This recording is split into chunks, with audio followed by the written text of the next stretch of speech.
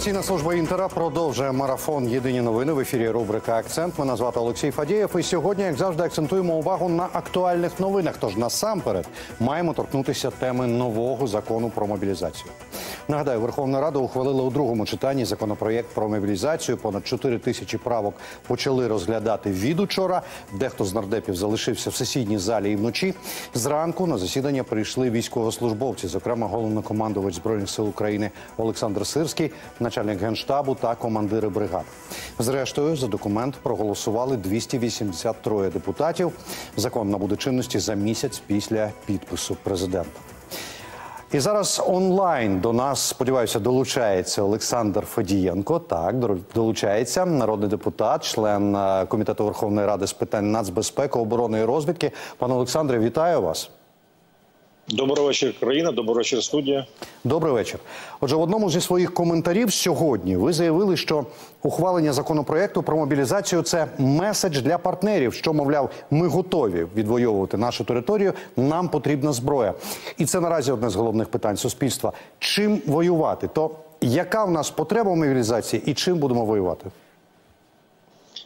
Потребу мобілізації визначає Генеральний штаб е, збройних сил України, бо безпосередньо все ж таки вони е, займаються плануванням військових операцій, плануванням операцій з е, відбиття вор- ворожого нападу, і вони безпосередньо визначають ту чисельність, яка їм потрібна там і терміни по мобілізації. Ну я думаю, що не є великою таємницею, коли я скажу, що перша хвиля мобілізації повинна там бути понад 100 тисяч на протязі там. 3-4 місяця. Е, А в цілому, наскільки пам'ятаю, е, ще попередній головнокомандуючий казав про 500 тисяч. Ця цифра, до речі, не змінилась, хоча, звісно, багато було різноманітних чуток і так далі. Але треба зрозуміти, що наші партнери постійно спостерігають за нами, наскільки ми активно займаємося протидією російської агресії, враховуючи це і враховуючи те, що партнери, я думаю, що теж суспільство все бачить, уповільнилися в надання відповідної летальної зброї для знищення ворога, який захоплює нашу територію. Ми дали таким чином меседж, що так, ми посилили е, мобілізацію. Треба зрозуміти всім, що закон про мобілізацію це та історія, на якій не піаряться, і вона точно багатьом не подобається. Але треба зрозуміти, або ми втрачаємо країну, або ми все ж таки мобілізуємо всю країну і захищаємо нашу країну. Пане Олександре, одним із перших пунктів є оновлення даних військовозобов'язаних. Будь ласка, розкажіть, яким чином це можна зробити, ну і в які терміни, якщо можна. Е, дивіться, зараз, значить, е, після того, як закон вступить силу, силу там через півроку, я сподіваюся, запрацює, по-перше, кабінет е, військовозобов'язаного. І військовозобов'язані можуть оновити свої дані, скориставшись на добровільних основах. Тобто, це не є обов'язок е, оновити свої дані через цей кабінет. Також військовозобов'язані можуть прийти в ТЦК, оновити в ТЦК, або якщо, звісно, є якісь там. Е, моменти зв'язані з ТЦК, або ТЦК знаходиться достатньо далеко. Це через ЦНАП прийти в ЦНАПи і оновити свої дані. Але я б радив всім громадянам України, які є військово зобов'язані і не мають обмежень, оновити свої дані. Це жодним чином не каже про те, що вас одразу мобілізують, що одразу можуть направити на фронт і так далі. Але збройні сили України повинні принаймні розуміти ту чисельність, яку вони можуть залучити для мобілізації, для навчання і в подальшому застосування збройних сил України. Ще раз хочу наголосити, це не каже про те, що е, це в більшій частині буде піхота, яка буде на передовій. Це може бути і водії, е, електрики, там ремонтники і так далі. Ну звісно, безпосередньо ті люди, які фізично можуть виконувати відповідні бойові завдання на лінії бойового зіткнення. Пане Олександре, дозвольте, я вернуся все ж таки до теми електронного кабінету. Це щось нове. Ми з цим лише побіжно в дії з якимись сервісами мали справу. Електронний кабінет, взагалі діджиталізація. От які зміни чітко передбачені законом? Ви казали, що десь через півроку, от ви сказали зараз, центри комплектації будуть бачити кожного військовозобов'язаного в країні, так?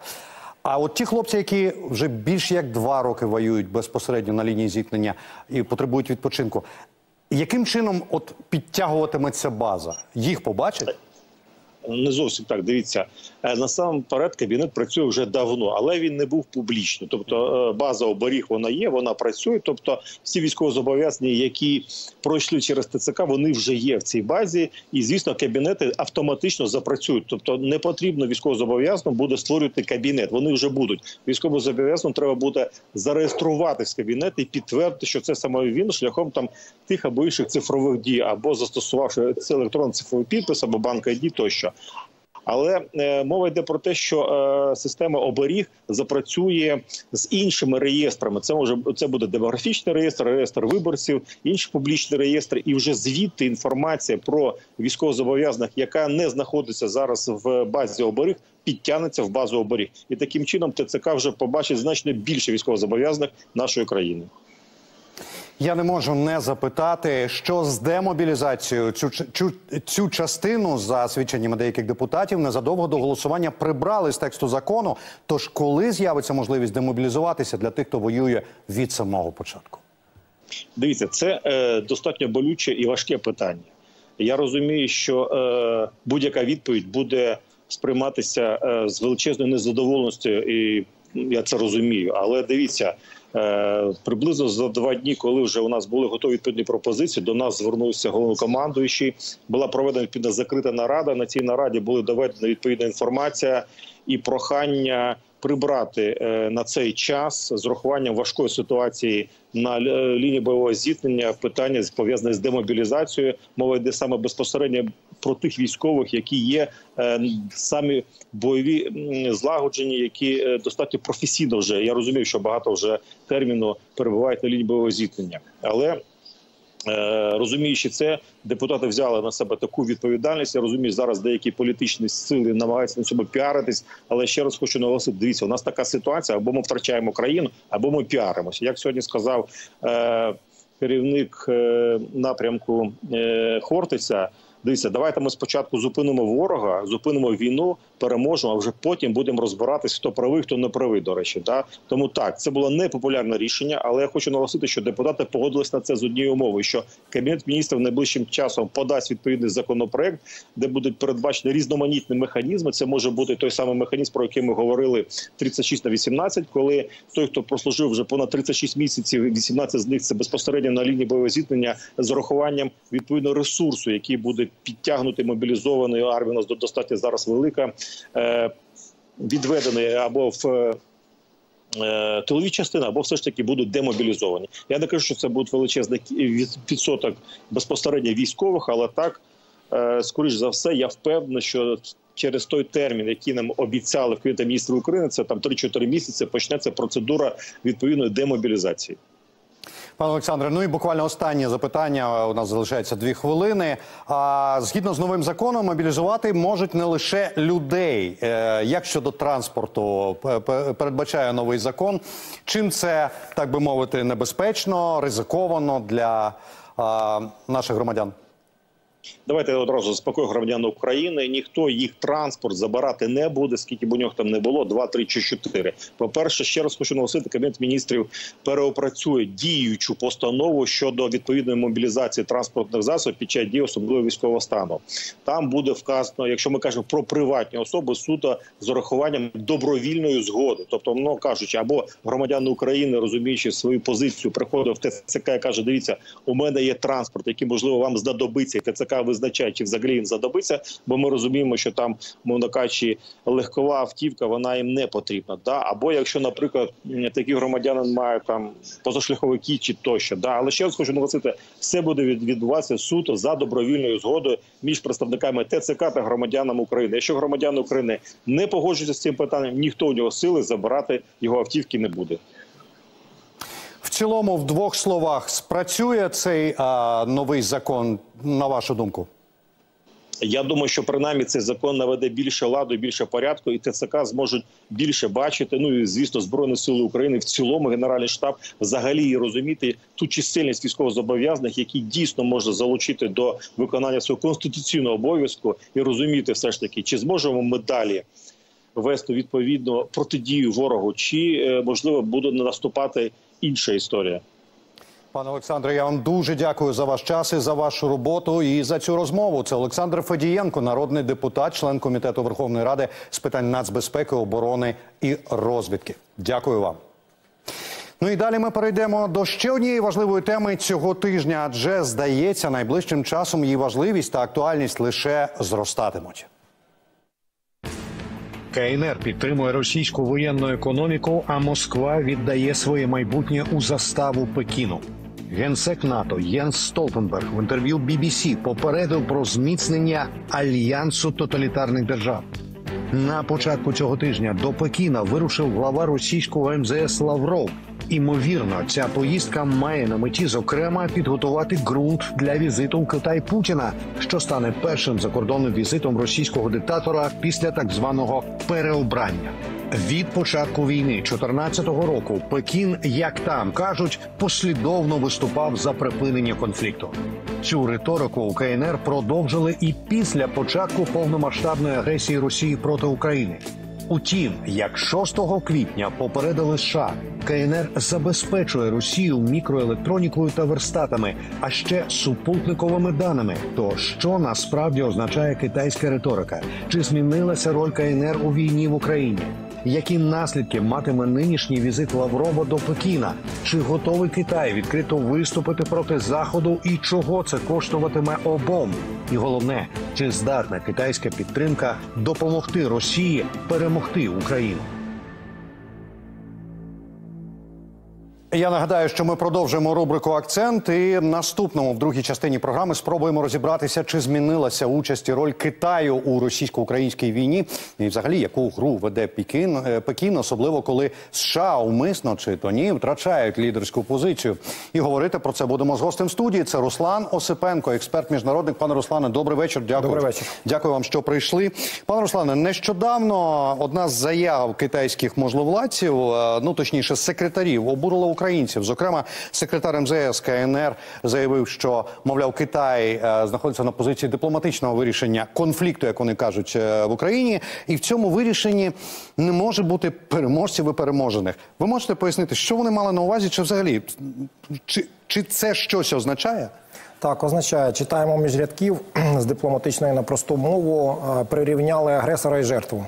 Тобто для Китаю нема різниці, хто нападав, хто перший е, почав агресію і хто страждає.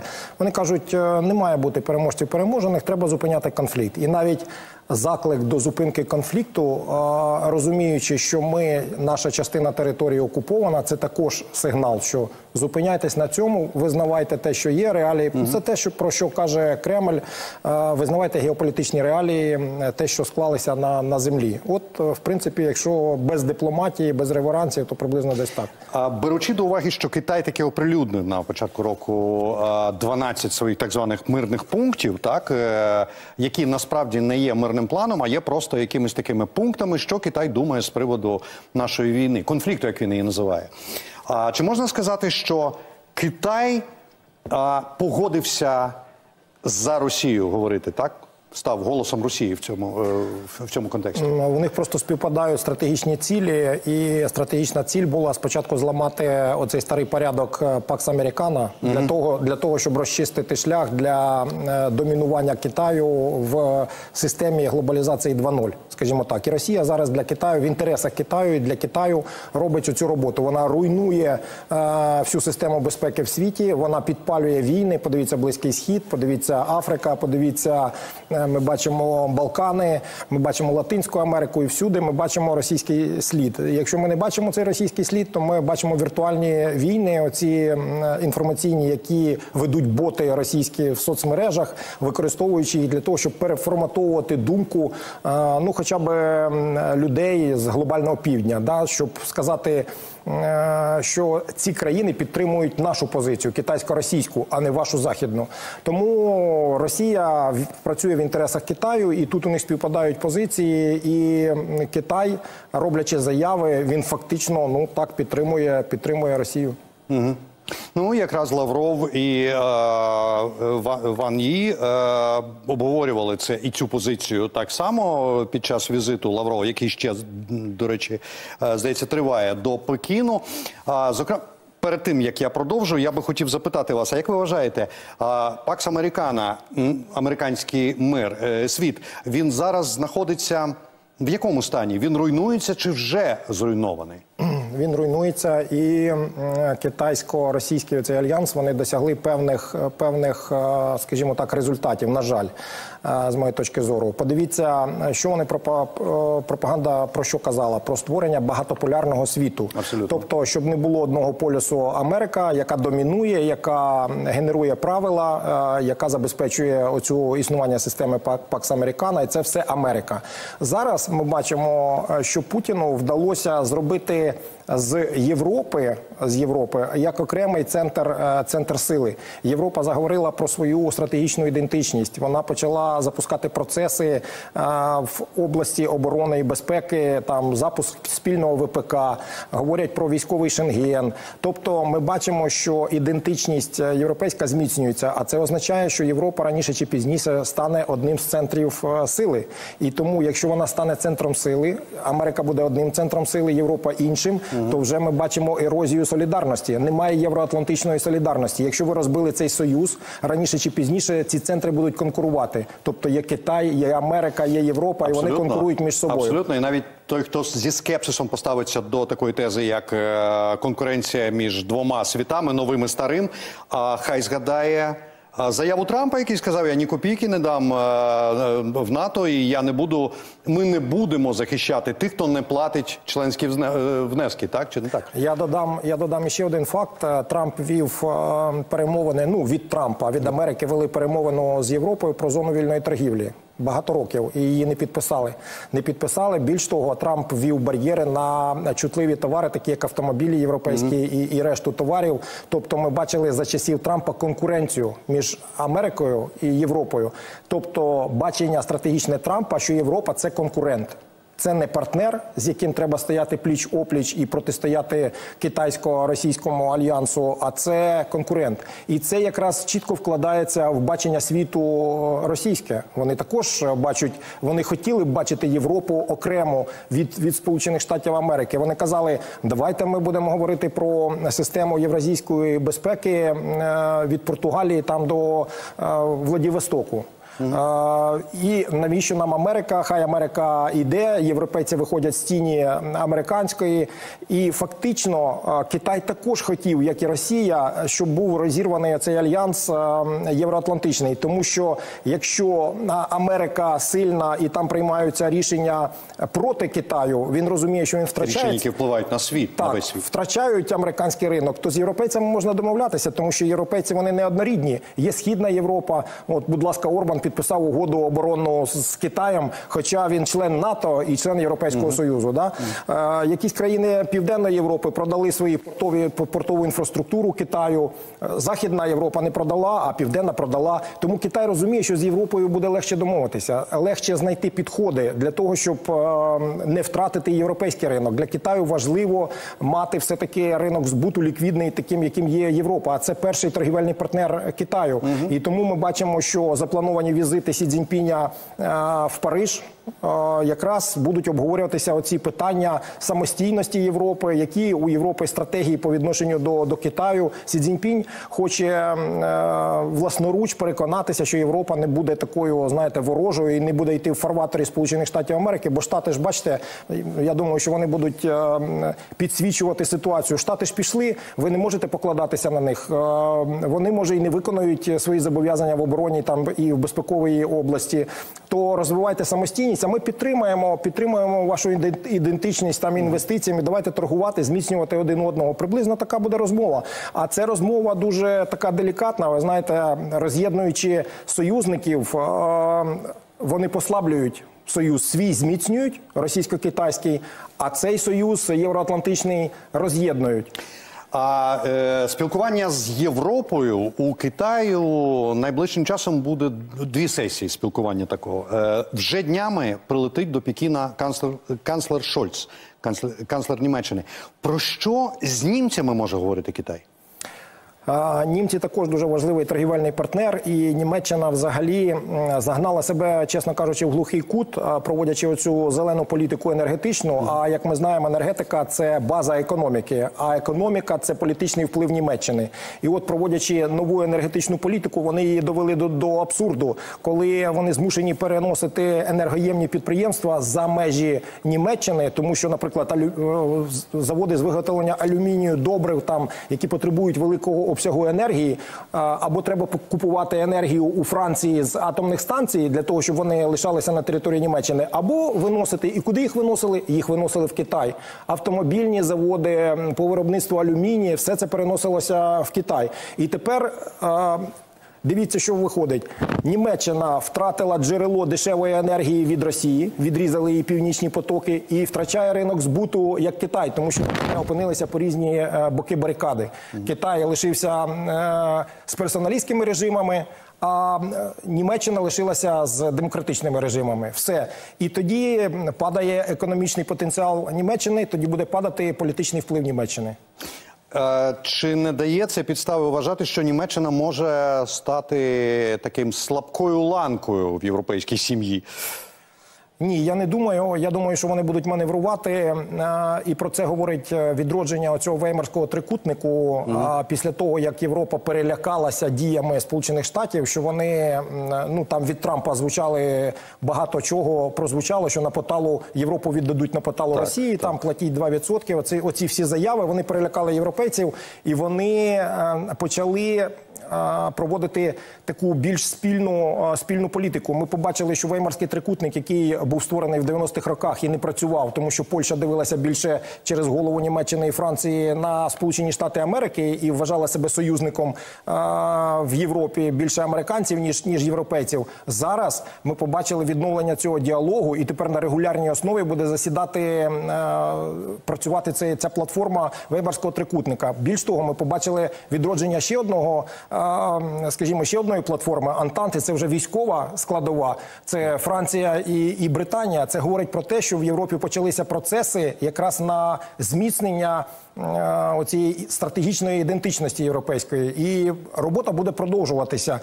І Україна, е, європейці переглянули підходи е, до України. Роль і місце України в оцих всіх процесах змінилася. Україна зараз захищає Європу, дає їй час для того, щоб вона провела всі реформи і знайшла гроші для того, щоб, е, скажімо так, відрегулювати всі виклики, які пер- перед нею постали. А перед ними постав виклик е, відновлення збройних сил.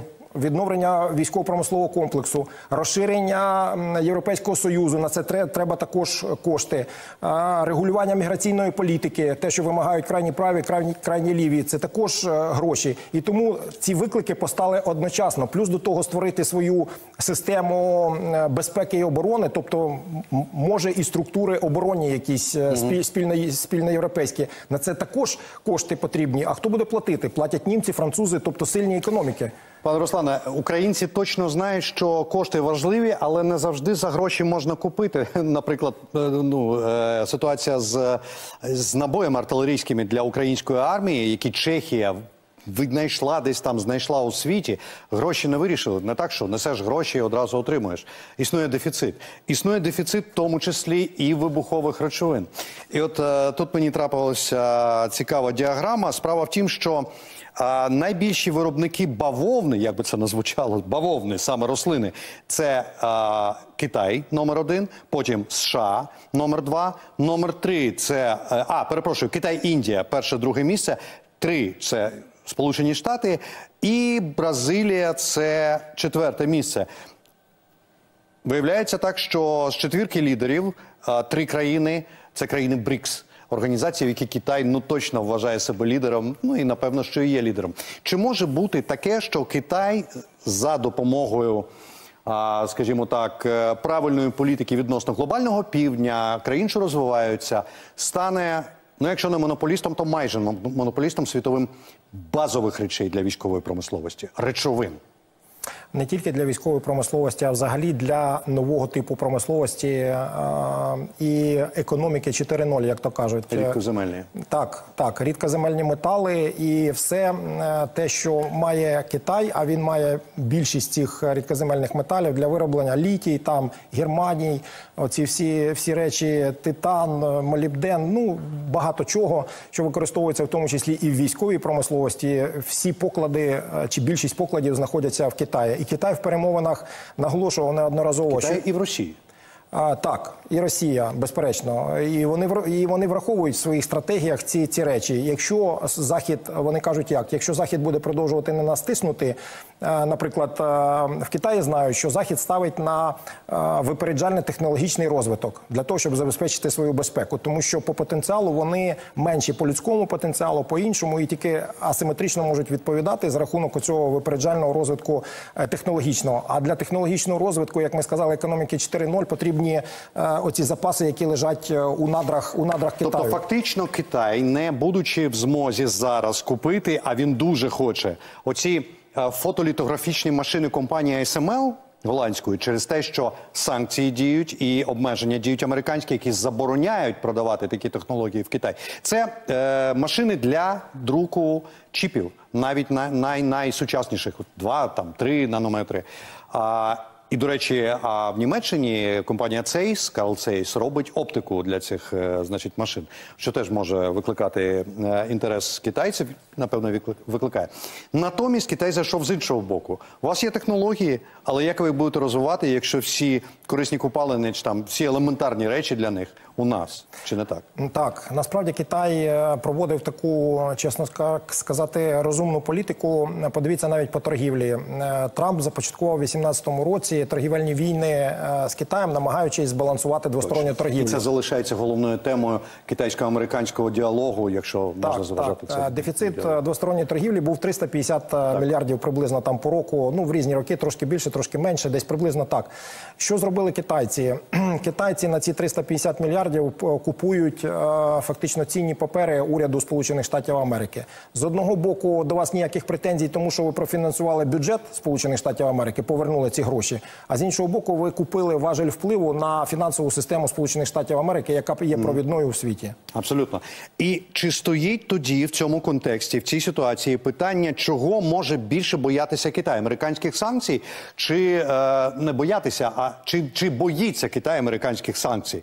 А спів, співпрацюючи з Росією, як про це сказав Єнс Столтенберг, тому що він взагалі дуже чітко і видання Bloomberg показало, що Китай постачає мікроелектроніку а, і всякі різні речі подвійного е, призначення. Китай вразливий зараз на, на цьому історичному відтинку часу. Він надзвичайно вразливий. Так склалися обставини, що вперше в Китаї е, системна економічна криза триває, і про це сказали вперше на високому рівні. Е, Там було зібрання в грудні 23-го року. Провідних е, партійних е, політиків Китаю, де Сі Цзіньпінь перед ними виступав і сказав, що ми маємо системну економічну кризу, і ми маємо з цим е, боротися. І при цьому Китай рекордсмен закупівлі золота в неділю Центральний банк Китаю, банк, банк Китаю, Bank of China, заявив, що ну рекордний рекордні запаси золоті. Ну, якщо країна купує золото, вона готується або до кризових ситуацій, або до війни. Це, це всі знають. Особливо Тому що- китайці. Та, особливо китайці.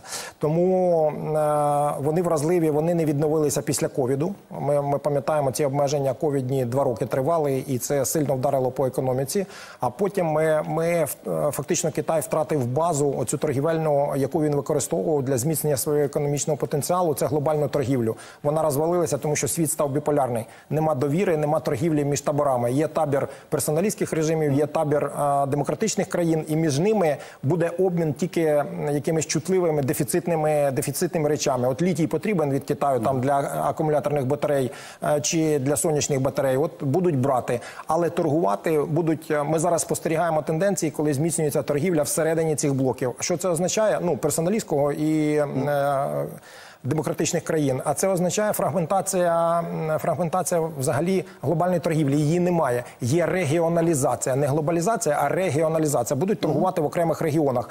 А значить, Китай не може реалізувати основну свою політичну політичне завдання стати країною номер один до 2049 року, тому що він В планах в стратегії його було до 2030 року стати економічною потугою номер один до 30 року, використовуючи всю ту систему, яка була, в тому числі і глобальної торгівлі, і трансформувати а, оці економічну потугу а, в свій політичний вплив на міжнародній арені. І ви тоді без війни вирішуєте взагалі всі питання, і, тому і що ви номер один. країни третього світу, так звані, які зараз називаються країни глобального півдня. Ну він вже це зробив. Він вже очолює. Він перебрав від Індії цей вплив. Е, Індія лишається таким визнаним моральним лідером третього світу. А Китай це більше вже економічно. Вони інвестують на всіх е, континентах на п'яти е, в п'яти точках. Вони фактично вже домінують. Це і Африка, і Латинська Америка, і Близький Схід. Подивіться, вони взагалі з близького сходу е, виштовхнули Сполучені Штати Америки, підписавши контракти з Іраном, Саудівською Аравією довгострокові на 25 Чи може років. бути тут в цій ситуації ключ того, що Китай може не боятися американських санкцій? Чи все ж таки санкції це важливо? Чому Китай допомагає Росії?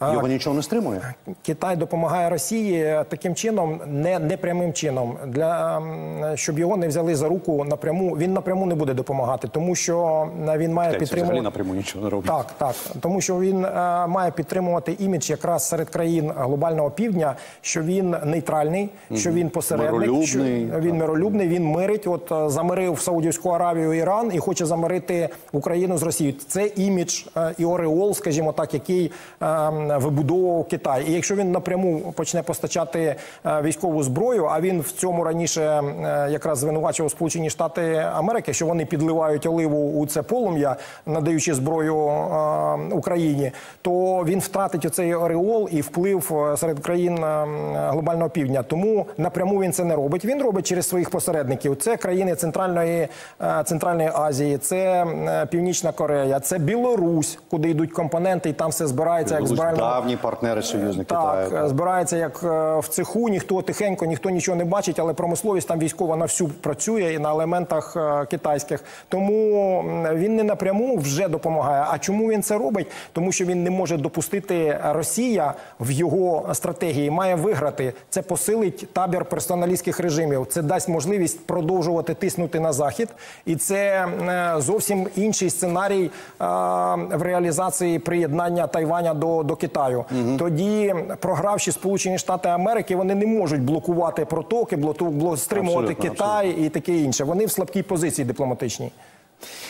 А в цій до речі, крім е, тайванського питання, і про це говорять багато експертів. І це, це, це відомий факт. Є ще Філіппіни, наприклад, які не дають е, спокою Китаю. З певних причин Китаю потрібно судноплавство в цьому районі, в е, південно-східній Азії. Наскільки я розумію, безперешкодне абсолютно. Таке ж безперешкодне, яке мають не знаю, американські судна в більшості в більшості світового океану.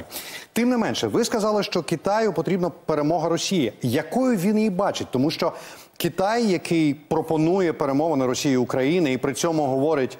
І лінія розмежування вона замирає, і кожна там реалії на, е, на місці залишаються і стають такою лінією, я не знаю навіть чого, розділу, розподілу. Якою бачить, на вашу думку, Китай перемо условно, умовно, перемогу Росії? Він же ж взагалі просовує Росію на саміт е, миру, який відбудеться в Швейцарії. Головне завдання Китаю не дати можливість Україні потрапити під парасольку НАТО. Це буде означати, що колишня республіка Радянського Союзу, як вони вважають, е, як вони кажуть, що у цього питання протистояння російсько-українського є історичні коріння. Треба дивитися глибше. Це означає, що суб'єктність нашу вони не визнають, що вони визнають е, Україну як зону впливу Росії. І Росія має з їхньої точки зору повернути Україну або принаймні через етап зробити. Зробити спочатку нейтральною, лишити її в сірій зоні між Росією і Європою, а потім за, які, за якийсь Дуже, період дуже повернути. цікава деталь. Я просто хочу звернути увагу. Ви сказали, суб'єктність не визнають. При цьому Китай постійно, значить, заявляє, що він там підтримує територіальну цілісність, незалежність. А щойно мені спало на думку, що напевно, що суб'єктність і територіальна цілісність, незалежність для Китаю різні речі. Ми знаємо з історії, що, наприклад, там по Азії існувала ціла низка там в древні часи васальних держав Китаю, тобто держав, які формально мали там е, суверенітет якийсь, але під е, повністю е, імператору. Так, дивіться, що вони казали в своїх 12 кроках от своєї мирної ініціативи. Вони казали, вони казали, що е, не можна посилювати е, один блок за рахунок е, послаблення Росії. Тобто малося на увазі, що якщо Україна приєднується до НАТО, вона посилює НАТО, але посилення НАТО відбувається за, за рахунок послаблення Росії. І тому і Росія починала війну в принципі не захищати російськомовне населення. Вона не хотіла відпустити Україну на захід. Вона не, не допускає. Вона навіть погодилася нас в економічний блок пустити е, в ЄС, але категорично не, не сприймає те, що ми будемо під парасолькою НАТО, тому що це остаточно ми перерізаємо ту пуповину. Ми виходимо з сфери впливу Росії, переходимо, е, приєднуємося до європейської сім'ї. Все Україна для Росії тоді втрачена назавжди. А якщо е, Україна втрачена для Росії, імперія розвалиться, тому що Україна це коріння цієї імперії. Отой руський мір тоді не має сенсу, тому що це буде тюркська мусульманська територія. Тобто тюрки домінувати будуть тюрки і мусульмани, а не російський мір, який вони несуть за межі за межі Росії. Все. Пане Руслане, але тим не менше, нас наближається саміт миру у Швейцарії. Він відбудеться всередині червня. А на ньому буде Китай. І що робитиме, на вашу думку, Китай на цьому саміті? Притягне Лаврова в валізі? По-перше, я не, не, не, не впевнений, що там буде Китай. Е, Це раз. А, ми би хотіли. Наскільки я розумію, Україна би не відмовилася від участі. Ну я думаю, що Україна прагне залучити Китай, тому що він лідер якраз е, глобального півдня, і це був би такий сигнал для країн глобального півдня, щоб е, вони широким фронтом приєдналися до цього саміту. Але Китай, як на мене, приєднання Китаю до цього саміту означає, що він похилив голову і е, ну з точки зору Китаю, що він перед заходом схилив голову. повівся, значить, на контекст заданий не ними, так? Так, тому що формула миру Зеленського вона розроблена нашими союзниками і нами. Тобто, це з їхньої точки зору, це захід розробив е, формулу миру, яка є, як вони кажуть, несправедливою, кажучи про те, що давайте проводити міжнародну конф- конференцію більш справедливу, де буде і Україна, і Росія. Тобто вони вже вважають, що це несправедливо. Якраз про те, що каже Москва, що без них е, вирішувати питання України не, неможливо. Не можете ви. Китай фактично повторює тільки іншими словами те саме. І тому. При цьому він запустив свою систему 12 кроків. Оця ініціатива 12-крокова, мирна, і всі країни глобального півдня дивляться, як буде реагувати Китай. Китай, щоб зберегти обличчя, може піти е, приєднатися до цього саміту, але я не, не переконаний, що і не впевнений, що це буде високий рівень. Це може бути на рівні посла, е, точно. там ну вище трошки рівень. Це буде на рівні представника по українсько-російській війні чи конфлікту, як каже Китай. Лі Хуей, колишній Так. посол до РФ. Так, так, але це буде свідчити про те, що Китай туди приїхав послухати, але не включатися змістовно Не в ви- вирішення, не- в вирішення не проблеми. В двох словах, що нам робити з Китаєм? Не в сенсі, що саме з ним, а що разом з ним, чи я не знаю, як спілкуватися, як вибудовувати комунікацію, чи, чи взагалі це має сенс зараз? Ну, треба вибудовувати е, комунікацію, тому що Китай є надзвичайно важливий гравець у світі. Він фактично після Балі е, цієї зустрічі там Байдена і Сі Цзіньпіня, е, він очолив, скажімо так, другу половину світу. Світ став біполярним. І багато хто дивиться на те, як реагує Світ Китай. не G7, так, не на Велику так, Сімки. Так, на Балі було засідання, і от всі там очікували цю зустріч. І після цієї зустрічі Байдена і Сі Цзіньпіня всі зрозуміли, що світ став біполярним відтоді, що е, вже не домінують Сполучені Штати одноосібно, а Китай вже посів в чільне місце. Безперечно, ми не можемо не врахувати позицію Китаю, і треба намагатися переконати Китай. Як переконувати, які механізми? Ну треба дивитися, що цікаво Китаю, і від того вибудовувати діалог, показувати йому, де він програє. А він може втратити два ліквідних ринки однозначно, і тоді йому при- прийдеться закрити свій промисловий цех виробничий. Да, взагалі, ну я маю на увазі, що Китай став світовим промисловим цехом. Да, і тоді всю промисловість треба за- зачиняти, тому що у вас немає ліквідних ринків збуту. А це Сполучені Штати і Європа. Якщо ви їх разом втрачаєте, то ви просто закриваєте свою промисловість. У вас дестабілізується дестабілізація соціально-політична, і тоді вам треба рухатися курсом Росії, десь проводити переможну війну за межами Китаю. А це може бути Тайвань. А ще Китай, як ви знаєте, як всі знають, дуже чутливий до питання продовольчої безпеки. У нас не залишається часу, щоб про це говорити, але Україна на ринку світового продовольства щось таке означає. Ми це щось таке знач, має значення і велике. В будь-якому разі, пане Руслане, ми поговоримо про це обов'язково в одній з е, програм Акцент на сьогодні. Я дуже вам дякую за те, що ви прийшли і витримали цю розмову. Було дуже цікаво. Це Руслан Осипенко, експерт міжнародник, був у нас в гостях сьогодні. Марафон Єдині новини триває. Далі випуск новин. Залишайтеся з нами і будьте у безпеці за можливості.